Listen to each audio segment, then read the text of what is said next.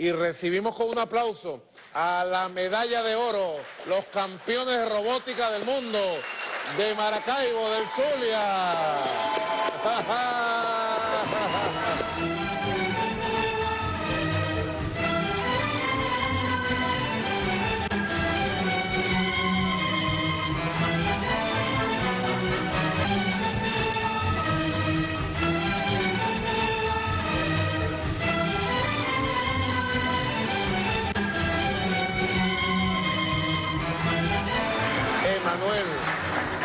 Samuel, María, Emanuel, Samuel.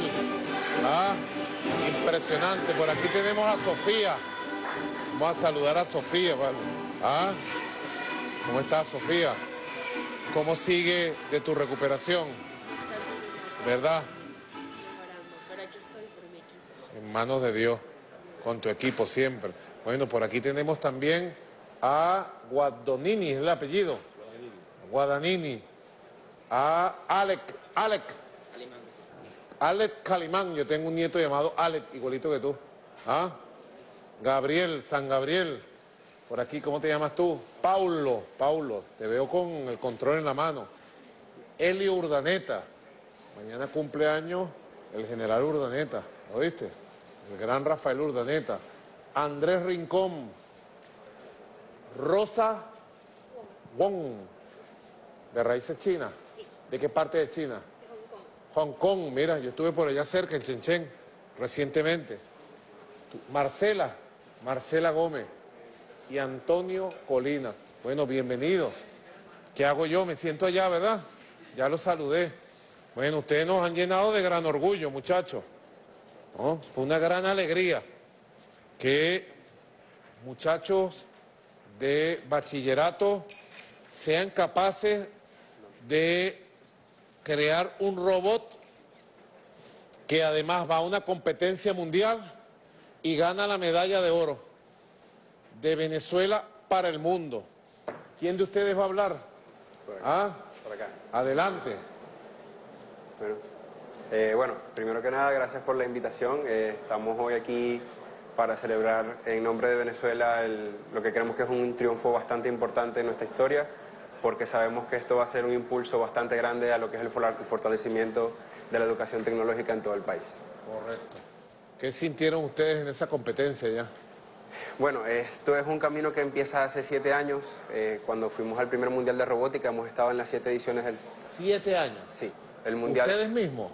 Eh, bueno, en mi caso yo he participado en, en todas las ediciones que ha realizado First Global ¿Y qué Challenge. edad tienes tú? 23 años. 23, o sea que empezaste Sí. chamito. Empecé como un estudiante y el año siguiente ya Correcto. pasé a ser y de mentor. generación en generación que ha ido llegando, se han ido integrando como equipo. Exacto. Eh, cada año eh, tenemos la tarea de buscar cinco jóvenes que representen a Venezuela para participar en el Mundial más grande de robótica del mundo con más de 190 países en torno a resolver un problema que está entre los 14 grandes problemas de la ingeniería. Eh, y bueno, tenemos que construir cada año un robot que eh, resuelva ese problema simbólicamente y aprendamos cómo utilizar la ciencia y la tecnología para resolver los problemas mundiales. ¿Y de dónde les nació a ustedes esta vocación por la robótica? Eh, bueno, yo siempre digo que esto nace de la curiosidad. El- en mi caso, yo tuve la oportunidad de participar en el primer año en, la- en Washington, en la primera edición. Siempre había tenido curiosidad por la mecánica, por la electrónica, pero fue la experiencia directa que tuve con la robótica en ese entonces que me llevó a dar un paso más allá. Y al tener esa experiencia dije, bueno, esto es mi vida y es lo que yo, lo que yo quiero hacer. Correcto. Vamos a escuchar a María. Sí. ¿Qué edad tienes tú, María? Yo tengo 24 años. ¿Y cuántos años tienes articulado este equipo? Bueno, ya llevo aproximadamente dos años. Dos años. ¿Y de dónde te nació esa vocación por la robótica? Bueno, la verdad que un equipo de robótica, eh, aunque a veces no lo parezca, es mucho más que, que robots. Em, yo conocí a los muchachos hace ya algún tiempo. Juntos organizamos la primera competencia intercolegial de robótica en la historia de Venezuela, llamada Copa CAI. Y bueno, desde ahí empezó mi camino como mentora y ahora parte de los líderes de este equipo. Y bueno, juntos llevamos todo lo que es la Copa CAI y el Team Venezuela. Bueno, también tenemos por aquí a Sofía Parra, capitana del equipo y bachiller. Sofía, acércale un micrófono, por favor. Correcto, Sofía. Sofía está en fase de recuperación de un tratamiento que tiene. Y va bien, ¿verdad, Sofía? Sí, de verdad que sí. Qué bueno. Cuéntame tu experiencia con, con tu equipo de robótica. Bueno, eh, yo empecé desde el año pasado, donde participé en la primera competencia intercolegial de robótica, la Copa CAI, eh, donde ahí me cambió la vida, eh, que hubo en Venezuela. Este, me cambió la vida, de verdad que yo empecé a sentir pasión por hacer robots, por estar en un equipo y así fui seleccionada para representar a mi país en Suiza el año pasado. Desde allí eh, no he parado, siempre la robótica ha estado ahí para mí. Eh, y bueno, este año fui nuevamente seleccionada, eh, participé en la Copa CAI, donde más de 137 estudiantes de escuelas públicas y privadas participaron. Y, entonces fue una gran diferencia en comparación al año pasado, ya que comenzó como un sueño y terminó siendo realidad. Entonces, de verdad, representamos a Venezuela y dejamos los colores de nuestra bandera en alto y estamos muy agradecidos por todo, de verdad. Excelente, Sofía. Y tenemos a Marcela. Marcela tiene 16 años y es la piloto del equipo y es de quinto año, Marcela. ¿Ah? ¿Qué me cuentas? ¿Cómo te nació todo esto? ¿Tienes micrófono? Sí, sí, tengo. Adelante, Marcela. Al igual que Sofi, yo fui seleccionada en la Copa CAI de este año y gracias a Dios fui uno de los cinco estudiantes que tuvieron la oportunidad de ir al Mundial. Yo fui la driver de mi equipo de mi colegio que se llama Materminds, yo vengo del colegio Mater Salvatoris y pues ahí tuve la oportunidad de destacarme como piloto y como competidora y así mis mentores me pudieron escoger. Mira, Marcela, a tu lado está Antonio y veo que ustedes tienen en sus manos los equipos de conducción, ¿verdad? ¿Quién de ustedes me explica o le explica a los que nos están viendo cómo se diseñó este robot, cómo funciona y todos los vericuetos, pues, de este robot? ¿Ah? Y además hacerle una demostración, explicación, demostración. Adelante. Sí, bueno. Eh robot Kashi fue ¿Cómo te llamas tú? Sebastián. Sebastián. Eh, el robot Kashi fue el robot que nosotros construimos a partir de un kit de piezas para ser el que va a representar a Venezuela, el que representó a Venezuela eh, durante los próximos... ¿Cómo lo construyeron? ¿De dónde sacaron las piezas? Bueno, a los 190 países que participan en la competencia se les hace entrega de un kit de piezas con más de 3.000 piezas entre aluminio, plástico y componentes electrónicos por lo cual nos dicen el reto que este va a tener que cumplir durante esos días de competencia.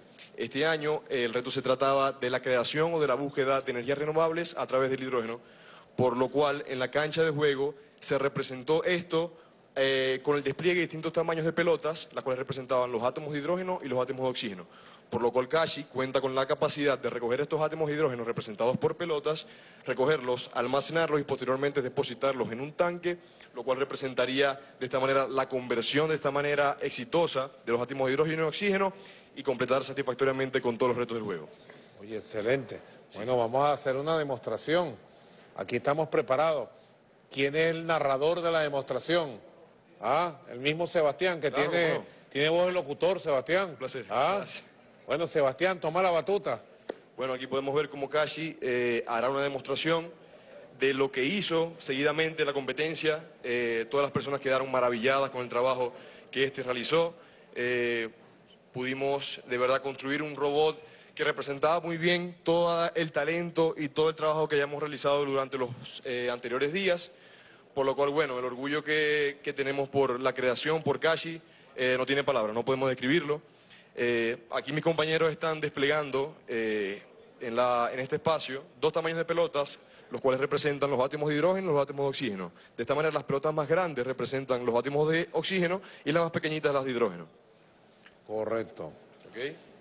Eh, cabe destacar que casi cuenta con un brazo mecánico que le permite al mismo levantar y engancharse en una barra lo cual también era una de las tareas más importantes del, reto. Correcto. Ahí está funcionando Cachi. Cachi hará. Sí. Bueno, Kashi cuenta con un intake, lo cual le permite a él recoger esas pelotas y almacenarlas dentro de una caja o dentro de una canasta, la cual cuenta con un separador.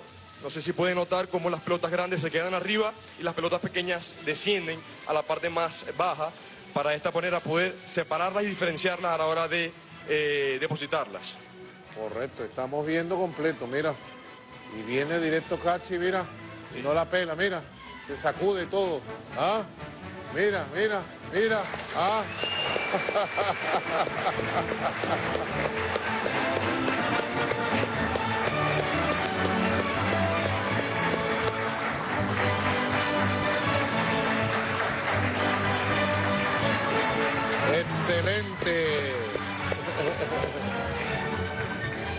Impresionante, vale. De verdad, muchachos.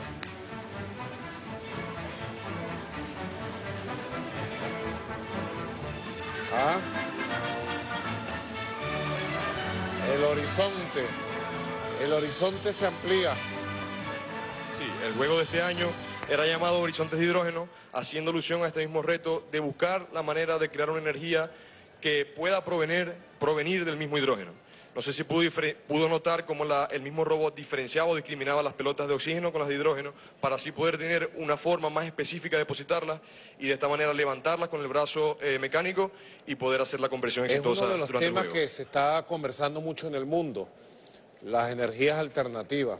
Y precisamente la energía del hidrógeno es una de las energías que más perspectivas tiene hacia adelante. Aquí está la ministra de Ciencia y Tecnología. ¿Qué te parece, Gabriela, toda esta maravilla estos muchachos? Buenas noches, presidente. Felicidades. Es una experiencia extraordinaria ver a la juventud venezolana creando, programando, desarrollando electrónica, mecánica, pero sobre todo la solución de problemas puntuales. Y este reto es extraordinario, sobre todo ver la participación de niñas, jóvenes, instructores, universitarios, pero sobre todo, presidente, haciendo ejercicio del conocimiento en términos de soberanía, de creación, de inventiva. Y la aplicación hacia las energías alternativas es el desafío que tiene la humanidad. La robótica, la digitalización de la vida, la electrónica fina es la etapa de la transformación digital que usted siempre nos ha invitado a cursar.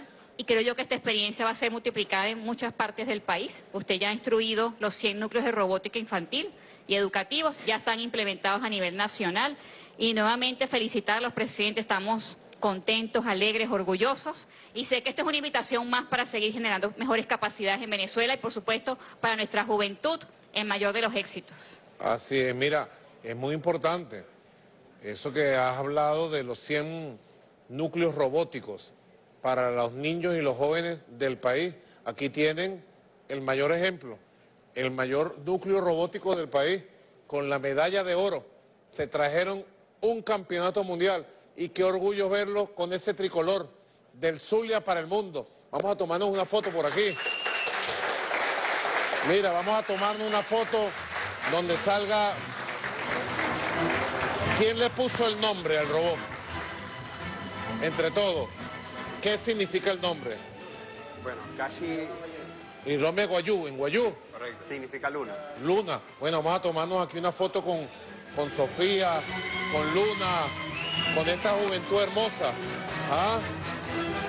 Y espero verlos a ustedes como instructores, profesores, facilitadores de los 100 núcleos de robótica para que los niños y niñas de Venezuela tengan la felicidad que tienen ustedes hoy.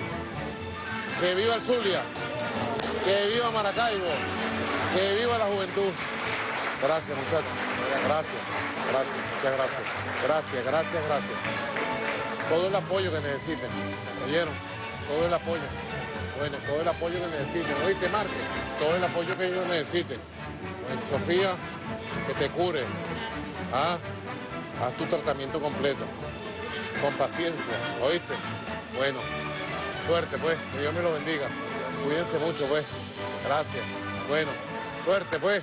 Y ahora vamos al segmento con el Táchira, más regiones. Adelante.